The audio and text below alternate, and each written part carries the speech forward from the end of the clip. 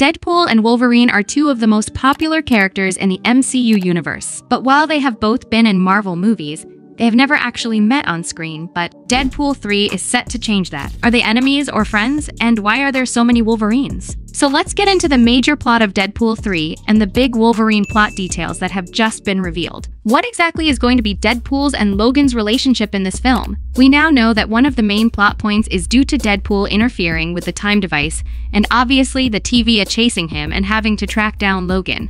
There will be multiple actors, even Hugh Jackman playing different Wolverine roles that are basically part of the bigger multiverse variant picture. This is supported by this tweet, which reads, Deadpool 3 will be a direct follow-up to Deadpool 2.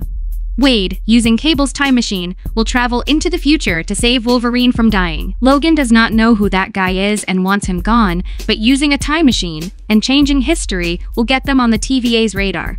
But there is one major issue with all of this. The Deadpool time travel laws differ from the Endgame time travel laws from Marvel. Changing the past doesn't change the future.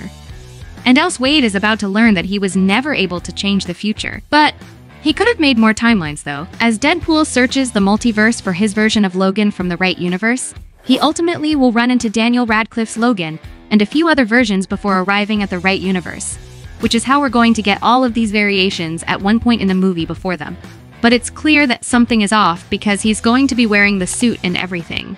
It's believed this will be addressed in the story, along with what's going on and why he now has the suit and all that. However, by the end of the two's conflict and big battle, he's going to realize that, yes, this is the right Logan.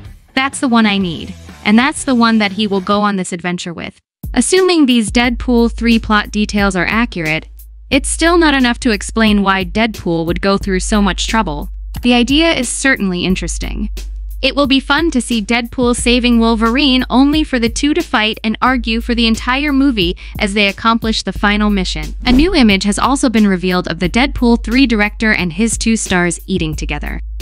The trio is described in the image's caption as three amigos waiting to shoot again. They are obviously talking about the strike.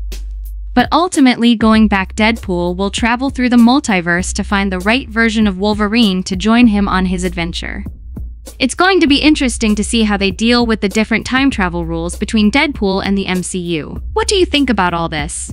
Let us know below and subscribe for the best cinema content on YouTube.